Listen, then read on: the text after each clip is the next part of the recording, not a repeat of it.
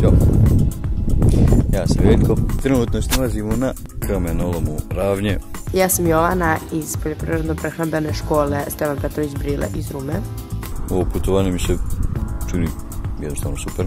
Htjela sam da vam se obratim samo po pitanju projektu u kojem učestvujem, a to je Slavimo raznolikost u fondaciji Ani Vlade Divac. I naravno da se usput pohvalim time da smo bili jako dobri domaćini protekle nedelje, jer su nam bili gosti iz Požege. Dobrodošli u mjesto izuzetnih domaćina gdje se u tradicionalnoj stenskoj trpezi uživa svim čulima.